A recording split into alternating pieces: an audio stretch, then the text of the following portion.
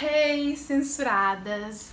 Alguns dias atrás eu indiquei um site com mais de 200 filmes LGBTs brasileiros para vocês assistirem online, gratuitamente e até mesmo pelo celular.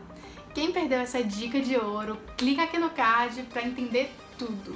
Porque hoje eu vim fazer um vídeo que eu prometi para vocês nesse outro vídeo que eu coloquei no card. Então, continuando com essa pegada, eu escolhi meus filmes lésbicos favoritos desse site para vocês poderem assistir também. Que tal?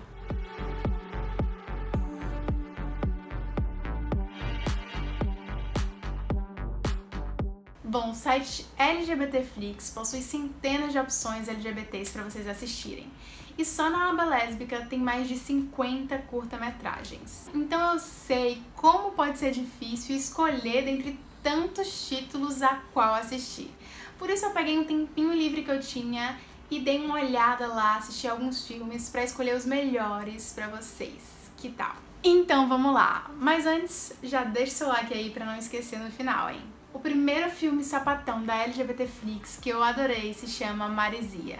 Ele é bem curtinho, com cerca de 3 minutos, mas também super tocante. Fala de despedida de uma forma delicada e ao mesmo tempo profunda, mostrando um momento de adeus entre duas meninas, dois amores, a beira-mar, sob o cheiro da maresia e a brisa do oceano. Desde o início eu tive a sensação de que algo não era o que parecia mas eu não sabia exatamente o que era e eu só fui descobrir assistindo o curta até o final. E eu quero saber se com vocês vai acontecer a mesma coisa. Então, depois que assistirem, voltem aqui e me contem nos comentários, tá bom?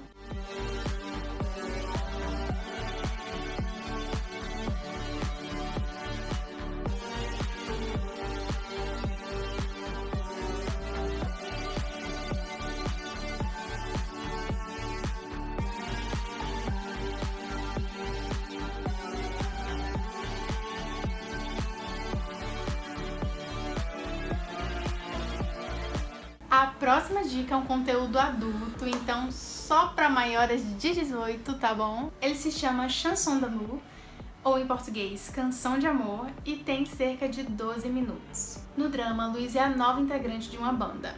Ela se expressa através de sua música e se apaixona por Clara, uma menina que está tentando se libertar do seu ex-namorado abusivo. A história se complica quando, por conta dessa paixão, a Luísa acaba sendo vítima de perseguição. Chanson d'amour retrata de forma sensível e realista a descoberta do amor e do desejo entre duas meninas. E fala ainda de sexismo, homofobia, violência, cyberbullying e sobre um amor que precisa lidar com ódio e preconceito para sobreviver. Além disso, possui cenas bem quentes e outras bem violentas por isso a restrição de idade. Quando o filme foi lançado no Brasil em 2014, as políticas públicas de asseguramento dos direitos da comunidade LGBTI+, ainda eram pouco expressivas e os relatos de homofobia eram muito frequentes. Então o filme foi criado em sua essência para ser uma ferramenta artística de oposição política, moral e ética ao governo. Agora dá uma olhadinha em um trecho do curta.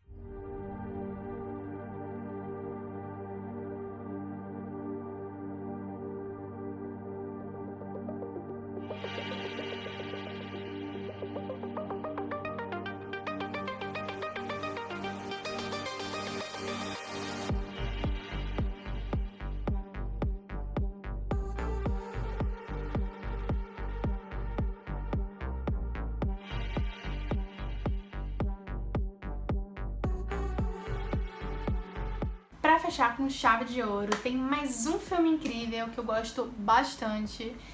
E eu tenho até a impressão de que eu já comentei sobre ele aqui no canal, mas como eu não encontrei o vídeo, eu decidi trazer hoje aqui pra vocês. Afinal, vale muito a pena, gente. Ele se chama Piscina e tem quase meia hora de duração. O curto já participou de mais de 150 festivais ao redor do mundo e ganhou quase 50 prêmios. Então já dá pra imaginar que ele é muito bem feito e tem uma história super forte, né? Eu tenho certeza de que vocês vão se apaixonar por ele, porque, gente, esse é um dos filmes mais lindos que eu já vi. A sinopse é a seguinte: em uma busca para conhecer o passado da sua falecida avó, Cláudia conhece Marlene, uma velha alemã que guarda em uma piscina vazia as memórias do seu passado. Eu não quero entrar em muitos detalhes, porque vale muito a pena vocês descobrirem cada pedacinho sozinhas. Mas eu quero dizer que o filme é dedicado à memória dos milhares de homossexuais que foram perseguidos, presos e assassinados durante o regime nazista. As vítimas esquecidas do Holocausto.